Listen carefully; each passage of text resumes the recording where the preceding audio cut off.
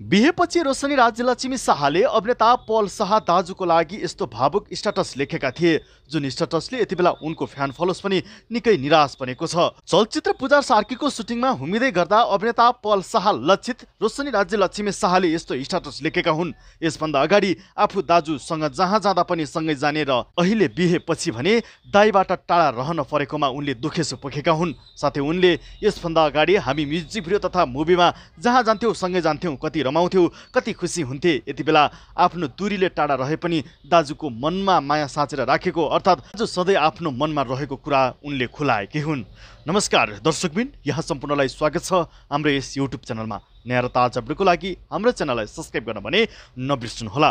रोशनी राज्यलक्ष्मी शाहले यति बेला अभिनेता पल शाह चलचित्र पूजा सार्कीको छायाङ्कनमा हुमिनु अगाडि यस्तो स्ट्याटस लेखेपछि यति बेला उनकै फ्यान फलोस यति बेला निकै दुखी बनेका हुन्। उनले यसभन्दा अगाडि दाजुसँग हरेक समय बिताएको सम्झिँदै गर्दा उनले यति बेला आफू भावनात्मक रूपमा नजिक रहे पनि समयले र परिस्थिति अनुसार दूरी निकै टाढा रहेको भन्दै रोशनीले एक्कासी फेसबुकमा स्ट्याटस लेखेका थिए साथै चलचित्र पूजा सार्कीको पुरा टिमलाई बधाई तथा शुभकामना समेत व्यक्त गरेका थिए।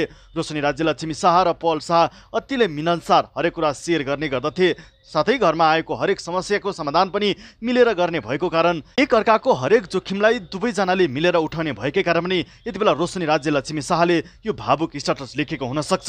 रोशनी राज्यलक्ष्मी शाहले यसभन्दा अगाडि यस्ता पल शाहको लागि खासै स्ट्याटस पनि लेखेको थिएन तर पहिलो पटक यति बेला विदेश पुगेपछि र बिहेपछि उनले लेखेको यो स्ट्याटस भने उनको फ्यान फलोसले निकै चनाखो रूपले हेरेको देख्न सकिन्छ।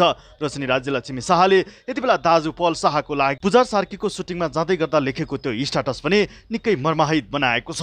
दाजु र बहिनीको त्यो माया अभिनेता पल शाह लक्षित रोशनीले लेखेको यो स्ट्याटस तपाईँलाई कस्तो लाग्यो? जस्ताको तस्तै तल कमेन्ट बक्समा लेख्न भने नबिर्सनुहोला र थप जानकारीको लागि हाम्रो च्यानललाई सब्सक्राइब गर्नुहोला।